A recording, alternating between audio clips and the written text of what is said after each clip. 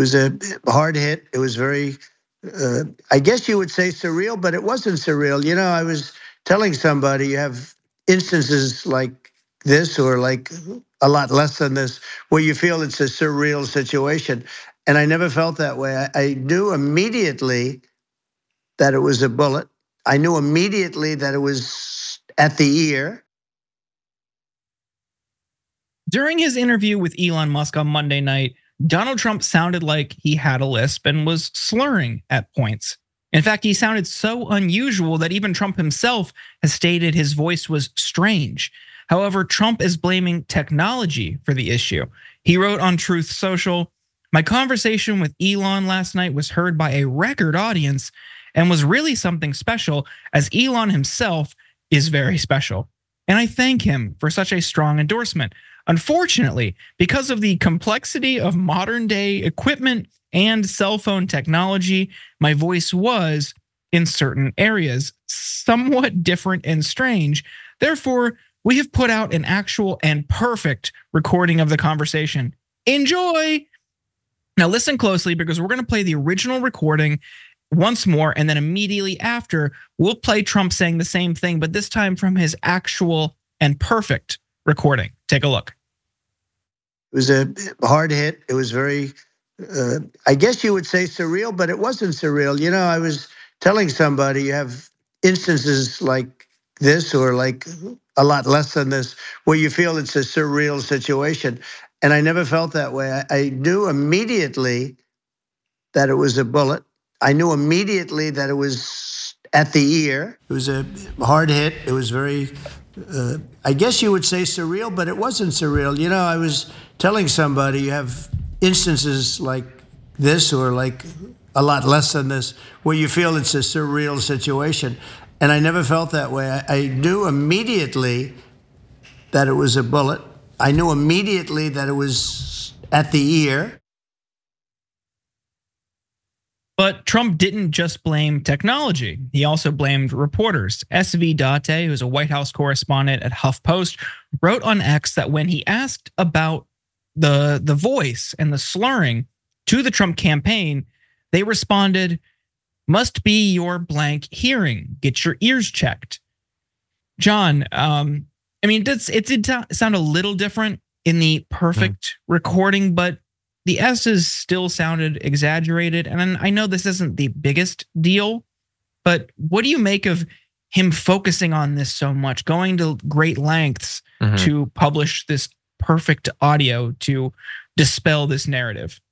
I think, um, look, it's a it's an issue that is utterly irrelevant substantively, but if you needed to know who Trump is and all of his weaknesses and hangups, this reveals like all of them simultaneously.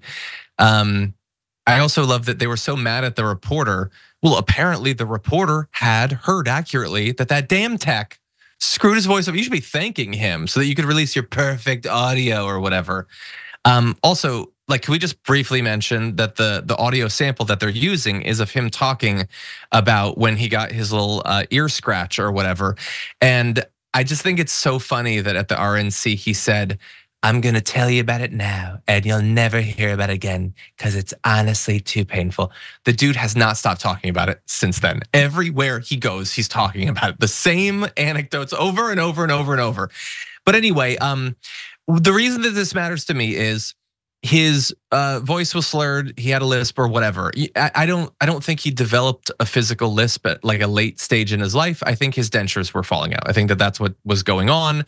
Uh, the issue for Donald Trump is he doesn't have the minimal testicular fortitude to just say that's what happened.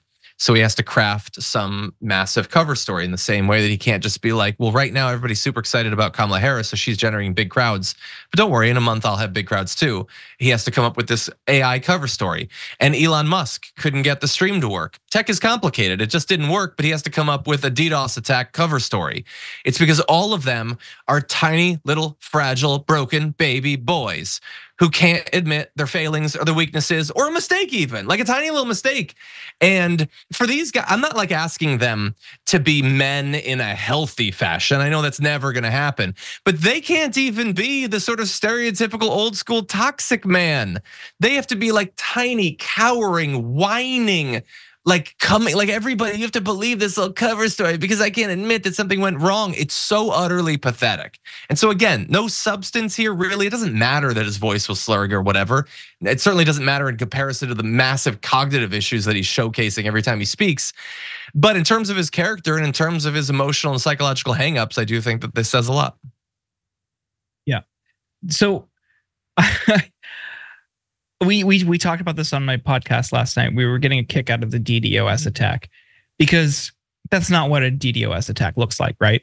You referenced it. It's obviously BS. It would wipe out the whole site. Like the whole site would be down, mm-hmm. not one function. And because they're so fragile, because they're so unable to admit they just made a mistake, he has to spin it into some nefarious attack on the site. He could have just said, Oh my God, so many of you want to hear this conversation with Donald Trump that our servers can't even handle it. Spin it as a good thing. But they are so clouded by their ego, by their narcissism, both of them in both of these situations, they can't do that. They, he has to spin it into some ridiculous, obvious lie.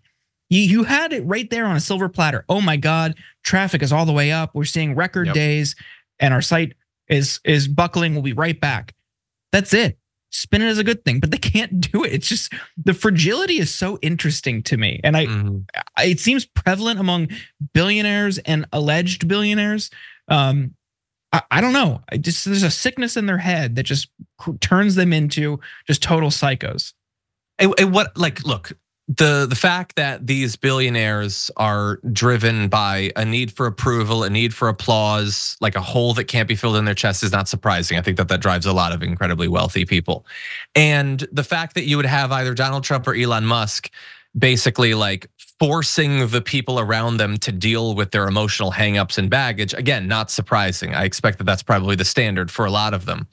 But the issue is that they had to like pull all of us into it by like running for president and taking over the Republican Party or buying Twitter or whatever. And all of that would be fine, except that they're not the only ones with an issue. There are millions and millions of Americans, probably 90% of them being men, who see all of this and can't tell it for what it is. Like they they don't they don't get that this is a guy who is deeply anxious and is constantly afraid of appearing weak or appearing incompetent or appearing stupid and can't admit it. Like they don't they can't get that. And that I think is a bigger societal problem that Elon Musk will do like the attack or then he'll come out the day later a day later and say, you know, with the views and with subsequent conversation, it's a million, it's a billion views. That is so like if your friend said that about something they did, like the rest of you would mock them behind their back, you know? But like when it comes to these guys, they're like, no, he's a genius. He's nailed it. I want to be this guy. I'm going to reply to every tweet that this guy puts out. And that is a massive problem because it's not a problem of one man, it's a problem of a generation of broken men.